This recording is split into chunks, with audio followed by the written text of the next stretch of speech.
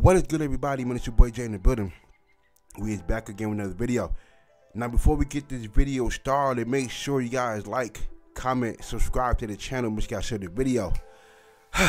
now, I think it's um, we it's enough time has passed. I think we're at the right time of the year to where I think the rosters are finalized. So I think I could finally put out my top 10 teams heading into 2024, man. Uh, so without further ado, man, this is gonna be very. I'm gonna try and move this as quickly as possible, man. So without further ado, let's get started. At number 10, I have South Carolina State. Uh, I'm excited to see what Coach Berry does in his first year. Uh, we've seen what he did in his last two years at Benedict, and it's something that Benedict has never experienced before, which is not only a conference championship, but two regular season under two undefeated regular seasons. Uh, he's a great motivator. I think that that lock uh, that South Carolina State locker room is going to be extremely motivated for 2024. Damn near the majority of the players that Benedict transferred to South Carolina State, so it definitely lets you know how good of a coach he is. Uh, so good that Eric Phoenix transferred from Murray State or wherever he came from transferred to South Carolina State lets you know how good of a coach uh, Coach Berry is, man. And he had a real good recruiting class this year. He has a great running room, uh, uh, running back room. The linebacking corps on defense is intact. Uh, I think it's a tremendous upgrade at the quarterback position. Because if y'all saw last year, there was not a great passing team at all. I think as a team, they only threw I think they, they threw less than 1,400 yards, but had almost 2,500 rush yards. That's too wide of a gap passing wise for that to happen, and you ain't gonna have a successful season doing that. Even though there were three and two in the conference, I think Eric Phoenix is a tremendous upgrade at the quarterback position, and not only could South Carolina State run the ball, even with the current running backs that they do have, Eric Phoenix could run the ball himself. So I think it's a tremendous upgrade offensively anyway. So I do think South Carolina State is gonna have a, a good year this year. And I can't wait to see what happens, man. So I have South Carolina State at number 10. At number nine, and I know a lot of y'all are gonna be shocked about this, but y'all just hear me out for a minute. But number nine, I have Morgan State. I have Morgan State at number nine, man. Hear me out. Now, outside of, I think Prince, or uh, outside of Yale, outside of Yale, defensively, they competed in every game. In every game. First game of the year, they they beat Richmond, and that same Richmond team beat Central beat North Carolina Central in the first round of playoffs. Uh, they lost by three points to an FBS team in the University of Akron. And when they came to conference play, they held the top two offenses in the MEAC to under 20 points. Both of them. Both teams. Uh, I think defensively, and listen, what Coach Wilson has been doing his first two years at Morgan State, it, hasn't translated to a lot of wins, but they've been competing. And it, it, listen, I know, and I think he's entering his third year. So normally around the time the third or fourth year is where you really start to get the team that you've been wanting, like in terms of recruiting wise. But they still do have some talent, especially on the defensive side. But on on offense, they still have J.J. Davis, who I believe is still one of the top players in the MEAC returning. Uh, I'm interested to see what they do at their quarterback spot and their weapons at receiver. But in terms of defense, they still have their top three sack leaders. They still have Elijah Williams. They still have Eric Hunter. Uh, they still have a lot of guys on defense to where they are going to be formable this year. Now, if their offense is able to score at least 20 points a game, because last year they only scored about 15 points. Uh, I think 15 to 16 points a game.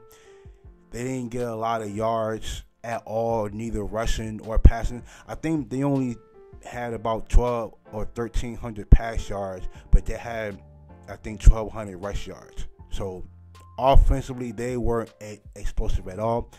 But if they can score to at least 22, 23 points a game while the defense still playing as hard as they play, this team could be a really good team this year. And I do have a lot of conf- uh, confidence in what Coach Wilson does for this team. So I do have Morgan State being being a real good competitor in the MEAC, and I have this team at number nine. At number eight, I have North Carolina Central. Now I know offensively they're going to look completely different. No Davius Richard, no Latrell Collier, no Devin Smith. They lost a couple of all conference offensive linemen. And I think I think Walker Harris is gonna get the start at quarterback. I believe so. But I think the I, I definitely want to see what they look like offensively. But on the defensive side, I think the majority of the defensive players are still intact. They still have uh, Jaden Flaker, uh, Cole Jones, Jaden Taylor. They got uh, Jason Chambers still. So I think defensively, they still have all their big time playmakers on defense.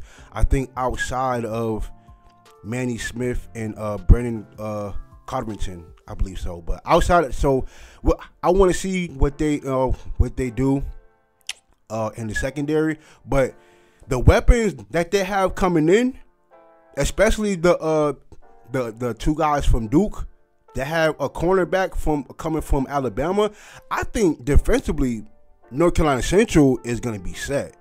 Like I don't think I'm not going to have any. I'm not going to be too worried about Central defensively, but off like on the offensive side of the ball, I'm really anxious to see what this new what the new quarterback looks like for the entire year. I'm real interested in Central, but I do have Central at number eight. I think defensively they'll be able to get it done. So I am waiting to see what happens with that. So I got Central at number eight. At number seven, I have Alcorn State. Uh now, um, I don't think I put enough respect on Alcorn and the team that they have returning for this year. Now I think defensively, outside of them losing Terrence Ellis, I think defensively this is going to be a real good squad. Oh, oh and they lost uh, Keenan Leachman too. Uh, but outside of those two, I think Keenan Leachman is still there. I, am not sure, but I, even with that, Alcorn defensively is still going to be a good squad. They still got Edwin in the secondary. They have Tyler Smith. They I think they have uh, still Marion Edwards still, and they have Malik uh, uh, Malachi Bailey who I believe might be one of the front runners. At least he's one of my top three guys to win SWAC Defensive Player of the Year. I think last year he had, I think, what, 15 and a half tackles for loss with nine sacks. Uh, now, I'm interested to see what um, Tyler Macon looks like this year. I think I think he, he might have been hurt within the first three or four games last year, if, if I, am not mistaken. I'm not sure. But um, I'm interested to see where the where the points for Alcorn State come from. Uh, them losing their their great running back. Uh, and I think Montario Hunt is not there, but they still have Malik Rogers. They still have um, I think what uh, Tavarius Adams. Listen, I think this squad, j- just in general, I think is gonna make it a tough out for who I have winning the West but we'll get to that in a second. But I do have Alcorn State being a real good squad. Eh, hey, they had a real good year last year. They had a real good season last year. So I am interested to see what they do. But I have Alcorn State coming in at number seven. And number six, I have Prairie View A&M. Now it's a close six between Prairie View and Alcorn. Would I have them at number seven? and me having Prairie View at number six, I think it's very close. It, it's a lot closer than when I originally made this list. But I got Prairie View slightly ahead of Alcorn. Um, Lucas Cooley. Uh, I think this pickup for Prairie View is gonna remind me of when they got Jawon Pass back in 2021. I think offensively they're gonna. I think they may look like that when they look like in 2021. It's a real. I think it's a real huge upgrade from the quarterback position a year ago. I think as a team they only had nine touchdown passes and just a lot of mistakes in the passing game. So I think that this this pickup at quarterback is going to be a real huge upgrade for their offense, especially with them having um, the weapons like Shamar Savage and uh, Trajan Spiller, and then getting additional weapons like James Burns, the receiver from UConn. They're getting McDowell, the uh, the running back from Campbell. Then they get a, a tight end, I forget his name. Um, then he's a transfer from from Alabama State, who was a three star recruit from UConn. So I think offensively they're gonna be better, and they have a they have another running back uh for for Prairie View. I think uh Jamarius uh Jamarius Brooks, I believe. I, I think he might have a breakout year as well. Now, defensively, they are losing a lot of good weapons on defense. Let me see. Uh, Keyshawn Johnson. I think uh, Trayvon Green. I think they still have C.J. Presley, but I think I'm I'm interested to see what Prairie View looks like defensively. But they did have a real, real good recruiting class, so I am interested to see how that gets put together. But I like Prairie View heading into this year. I think I have them winning the West, but it's going to be very interesting between them and Alcorn State. I do want to see what that matchup looks like. I think we might get another classic out of that, but I got Prairie View at number six. All right, so this is where things get a little interesting. Where we just made it to the top five. So at number five, I have Tennessee State. Um, now I'm not gonna lie, I had this team as high as number two. Um, and I was kind of hesitant on keeping them in the top five for this reason. Uh, now for now, now, now for one, I do like what they have offensively. They still have Draylen Ellis at the quarterback spot. They still have a lot of weapons on offense from a year ago that they have coming back. I think on offense and the guys that they recruited on offense, I really do love what they have not only coming back, but they have going in. I think they'll be able to score with anybody, not only in HBCU football, but in their own conference. The problem that I have with Tennessee State and I almost didn't have them in the top five for this reason. They just lost too much on defense. And I didn't realize how much they lost until I did this list a few times. They're losing Terrell Allen, Monroe Beard, uh, J- Jeremiah Joseph, uh, Bruce. They lost a lot of guys that were playmakers for their defense from last year. They lost a lot of those guys. Josh Green, um, Josh Green, James Green, um, um, Ahmad Nelson. Like they've lost a lot of guys on defense that made me question whether or not to put them in the top five. But I do think that their offense is well is really really good enough for me to say bump all that. I think they're gonna be I think they're gonna be real good this year. Um, I think like what last year they won what five or six games, which was the most that they had since 2016. I do think they they might be the same. I think they could win six games, maybe even more, hopefully. Um, but I'm not worried about them on the offensive side. But defensive side, I am I am a little worried about them a little bit. I'm not gonna lie. But the guys that they do have coming in, hopefully they can replace what they've lost. But I am confident enough to put them in the top five because I am a believer in their offense for real. So I do I have Tennessee State. And number five. At number four, I have Howard University. Now, if you if you were to ask me, um, who do you have winning the MEAC Offensive Player of the Year? I'll tell you that I don't know, but I'll tell you if there was a top five, if we if we had to tell me to give me to give you a top five, I think Howard has at least three of them. They have three guys in the top five who I believe that could win MEAC Offensive Player of the Year.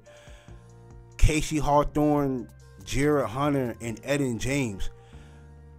And then like I think those three guys alone are gonna be able to just score a lot of points for Howard. Uh, I think now they do have a new quarterback this year. I think I think Ja'Shawn Scroggins. I think that's gonna be their starter. But if he is able to do what the last quarterback did last year, or even better, I think this. I think they're gonna go back to the Celebration Bowl. And then on the defensive side, they still got Kenny Gallop, who y'all know was the MEAC Defensive Player of the Year from last year. They still have all conference guys on defense coming back. I think one of them, let me see who number yeah, Terrence Terrence Holland.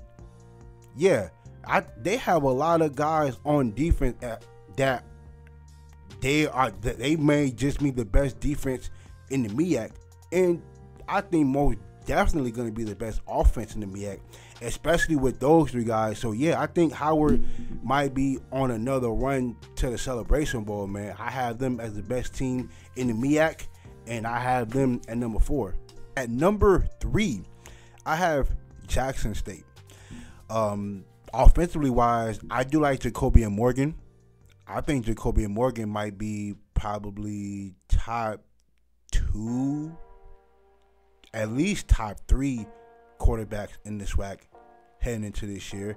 I like what he did in the second half of the year, uh, and it's going to be real interesting to see what he looks like throughout all 10, 11 games. I like their running back group, starting with Irv Mulligan. I think Irv Mulligan might be a top two running back in the SWAC. Um, I think right behind Donovan Eaglin from Alabama A&M. You got the receiving corps in Jackson State. I do like the receiving corps a lot in Fabian McCray, Rico Powers, Isaiah Spencer. So I think offensive wise, I think Jackson State is going to be pretty decent. And especially, you know, and then you got a new play caller, the head coach, TC Taylor. He's going to be calling plays this year. So I am interested to see what their offense looks like.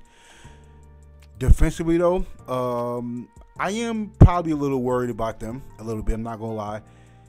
They lost the the the linebacking corps is gonna look new, and then with the veteran guys that they were losing throughout the the duration of their spring ball, it made me a little worried a little bit. Now they do now their recruiting class is amazing. Top three in uh, top three in HBCU football. Period. I like what they have coming in. I like Hasius Guthrie. I do like uh Key Drain uh, Collingen. I like Philip Webb. Now they still have some quality guys on defense to make them a competitor in the SWAC. I, I have them as a top two, top three team in the SWAC. Now, what's gonna be interesting is the schedule, cause I don't think their schedule them favors them that much. Uh, I think kicking off with their non-conference schedule. I think their first game of the year is they have Louisiana Monroe. Then when we get to their conference game, they're uh they have Grambling State on the road, and Grambling State ain't gonna be no pushover at all. Coach Joseph has done his has done a real good job over there at Grambling State, and I can't wait to see what that team looks like. But Grambling State ain't gonna be no pushover. Uh, you gotta uh, then listen. They have FAMU at home. Listen, they've been seeing FAMU in Florida for the last three years. Now they have FAMU at home. It's gonna look. It might get a little spooky for for for FAMU, but we don't know. But that that game gonna be crazy. And then you gotta go to Bethune Cookman's homecoming when at the recruiting job that that Bethune Cookman just did, listen, I think Bethune Cookman's homecoming is to be absolutely jumping, and you, you you barely escaped that game last year, so that's to be different. Then you got to go to Alabama State. Then you got to go to Alcorn State. The road is a little tough for Jackson State, but I think Jackson State does have a good enough roster to compete. I think, listen, I think if if if, if all goes well for Jackson State, listen, who knows what can happen with that team, man. But I do think Jackson State is one of the best teams in HBCU football. I do believe that uh Jacobian Morgan. I think if we're talking about SWAC offensive player of the year, I think he could be in the running, man, especially with the second half his first five games that he played real he looked really really good so i do have jackson state at number three all right at number two i have alabama state now i was trying to figure out how the hell did they get both andrew body and rico dozier in the same year I think that's absolutely insane. And I don't know what Eddie Robinson did or what they told him, but boy, he he got some game because I think those two are an absolute dangerous pair, even though they do play on opposite sides of the ball. I think Rico Dozier is the front runner for the SWAC Defensive Player of the Year, and I think Andrew Body is the front runner for Offensive Player of the Year even though he didn't play last year. Even though he was hurt, we like we we all know what Andrew Body can do with a full season. We like we seen him do it. Like we we know who he is. Um even though they lost Bubba Adams, Rico is not a drop off, not even at the slightest. Not even at the slightest. That that is a big, huge boost for what they lost.